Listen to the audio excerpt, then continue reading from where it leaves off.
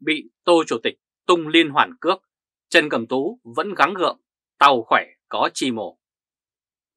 Ở Việt Nam, báo chí nhà nước còn gọi là báo chí quốc doanh, vốn được người dân gắn nhãn là báo chí nô bộc. Bởi hệ thống báo chí này chỉ để chính quyền sử dụng cho việc tuyên truyền theo ý đồ của họ. Từ tháng 3 đến tháng 5 vừa qua, cung đình kịch chiến, những vụ án lớn như tập đoàn Phúc Sơn của Hậu Pháo hay tập đoàn Thuận An của Nguyễn Duy Hưng bị đưa lên thớt khiến hai trong tứ trụ bị dục ngay sau đó. Nhưng trong giai đoạn này, người dân không hề tìm thấy một thông tin nào thể hiện mối liên quan giữa những vụ bắt bớ với các nhân vật tứ trụ rơi đài, được công khai trên mặt báo. Chỉ có báo chí tự do ngoài sự kiểm soát của chính quyền Cộng sản mới đưa những thông tin này ra để mà phục vụ hàng trăm triệu người dân trong và ngoài nước.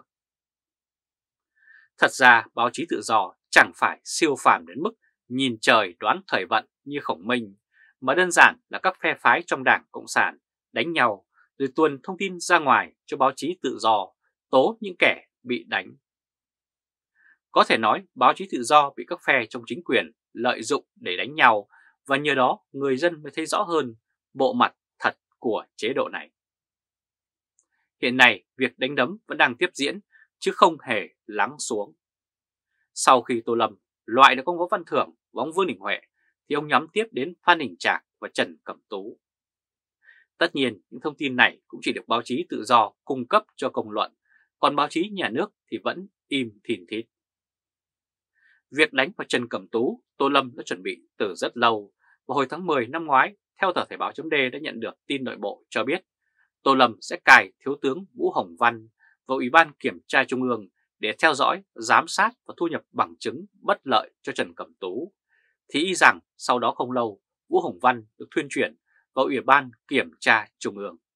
Việc cài Vũ Hồng Văn của Ủy ban Kiểm tra Trung ương là đường truyền đầu tiên mà ông Tô Lâm tung vào mặt Trần Cẩm Tú. Mới đây, Tô Lâm cho hốt chọn ổ công ty cây xanh công minh, mà theo thông tin nội bộ cho biết, đây là việc Tô Lâm đang nhắm tới Trần Cẩm Tú.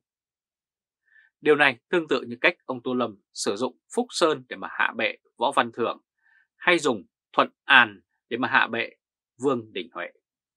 Không biết Trần Cần Tú vững đến mức nào mà Tô Lâm tung liên hoàn cước vẫn chưa đổ. Rất có thể cú ra đòn lần thứ hai này của Tô Lâm sẽ khiến Trần Cẩm Tú giã từ sự nghiệp chính trị. Và nếu tung cước lần thứ hai chưa đổ, thì có thể Tô Lâm lại tung cước lần thứ ba hay lần thứ tư.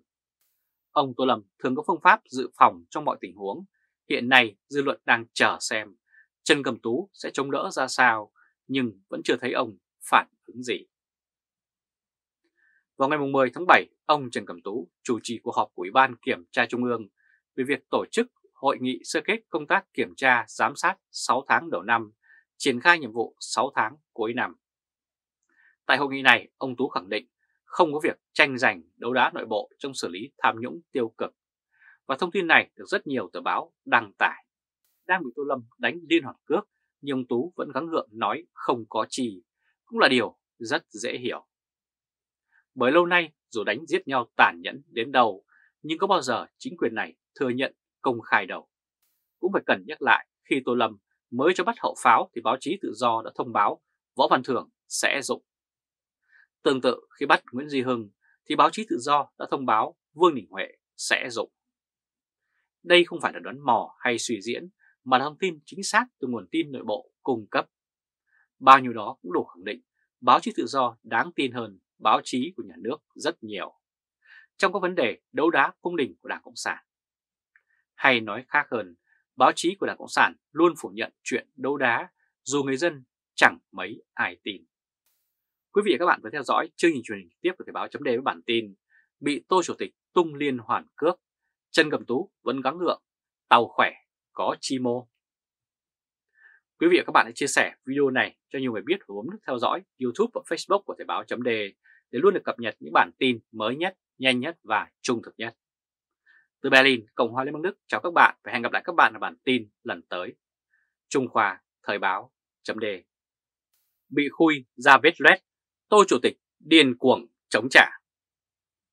Vào ngày 10 tháng 7, báo chí nhà nước thông báo đại biểu Quốc hội Lê Thanh Vân, Ủy viên Thường trực Ủy ban Tài chính Ngân sách Quốc hội, đại biểu Quốc hội tỉnh Cà Mau đã bị khởi tố bắt tạm giam, khám xét nơi ở, nơi làm việc, đồng thời tạm đình chỉ thực hiện nhiệm vụ quyền hạn đại biểu Quốc hội theo đề nghị của Viện Kiểm sát Nhân dân tối cao.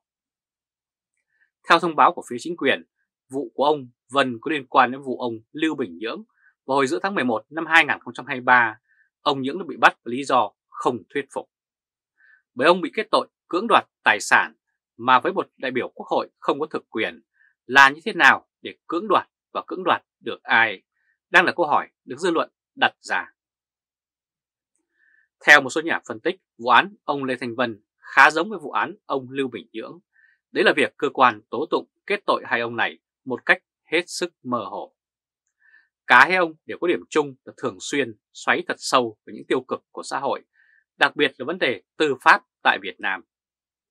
Cả hai đều đã có những chất vấn đanh thép và nhiều sự việc từng gây xôn xao dư luận như vụ đồng tâm, vụ hoãn luật đặc khu, việc bỏ phiếu tín nhiệm, tổ chức bộ máy cán bộ hay như tố cáo hành vi vi phạm chủ quyền của Trung Quốc trên Biển Đông. Vào năm 2017, ông Vân từng chất vấn Bộ trưởng Thông tin và Truyền thông Trương Minh Tuấn về vụ mobile phone mua AVG, vụ án và Tô Lâm có liên quan đến nhưng sau đó đã được ém chìm xuồng cho đến hôm nay. Những ngày gần đây, báo chí tự do được những nguồn tin nội bộ cung cấp đã thổi bùng vụ mobile phone mua AVG và những chi tiết liên quan đến Chủ tịch nước Tô Lâm.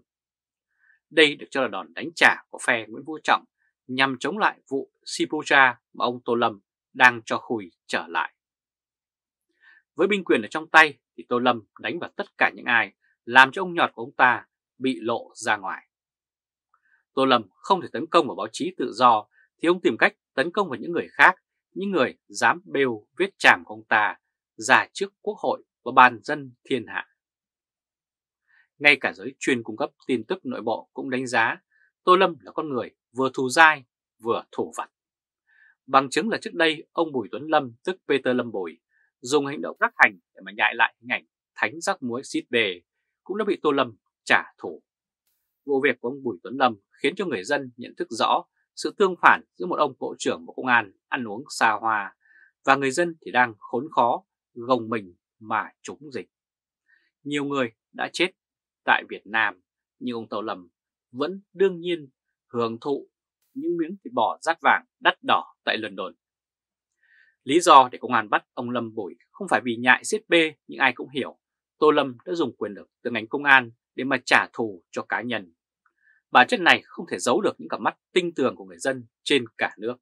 Hiện nay thế lực Tô Lâm đang rất mạnh, quyền lực của Tô Lâm thì đang rất lớn. Cứ sau mỗi trận đấu sinh tử với các đối thủ trong bộ chính trị thì Tô Lâm lại càng mạnh hơn. Mà khi Tô Lâm càng mạnh, ông ta càng tỏ ra nguy hiểm. Khi chịu sự điều khiển của ông Tổng, Tô Lâm đã chấp nhận những quy trình thanh lọc của ông Tổng đưa ra. Nhưng khi không còn sự chịu khiển, điều khiển của bất kỳ ai, Tô Lâm thể hiện sự lộng hành, muốn bắt ai thì bắt và bắt bất cứ lúc nào ông ta muốn. Từ khi Tô Lâm nổi lên những một thế lực mới, ông ta áp dụng chế độ công an trị, không những với toàn dân mà còn với quan chức của chính quyền các cấp. Bất kỳ ai từng theo phe khác chống lại ông ta hoặc bất kỳ ai làm cho ông ta thấy không ưa thì hiện nay đang gặp nguy hiểm. Giờ đây, cả những đồ đệ đang nấp dưới trướng của ông Tổng Bí thư Nguyễn Phú Trọng đều không còn an toàn nữa, chứ nói gì đến một đại biểu quốc hội Lê Thành Vân nhỏ bé. Quý vị và các bạn có theo dõi chương trình truyền hình trực tiếp của Thời báo chấm với bản tin Bị Khôi viết loét, Tô Chủ tịch điên cuồng chống trả. Quý vị và các bạn hãy chia sẻ video này cho nhiều người biết và bấm nút theo dõi YouTube và Facebook của Thời báo chấm để luôn được cập nhật những bản tin mới nhất, nhanh nhất và trung thực nhất. Từ Berlin, Cộng hòa Liên bang Đức chào các bạn, hẹn gặp lại các bạn ở bản tin lần tới. Trung Khoa, Thời báo, chấm đề.